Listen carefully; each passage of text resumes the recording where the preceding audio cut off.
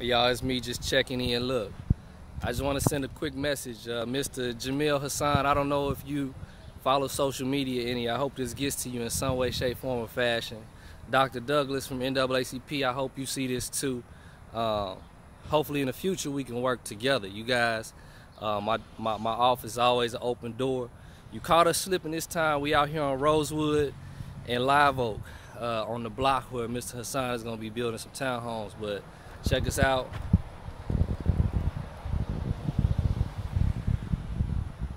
So you caught us slipping this time, but not next time. We're gonna we've locked the block down. Uh, waiting to hear back from the planning office. Let us know how our application went. And uh, Washington Terrace will be we'll be pulling up to try to lock down the rest of these blocks so we can dictate how the development happens in our own neighborhood. But until then, you know, I can't tell you don't sell real estate to Jamil Hassan or anybody like him, but like, be careful who you're selling your real estate to, especially if you care about the communities that you work hard uh, for over all these years. So, third ward, be conscious.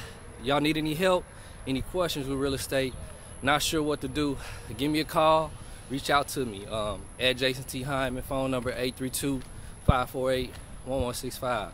I'll talk with y'all later.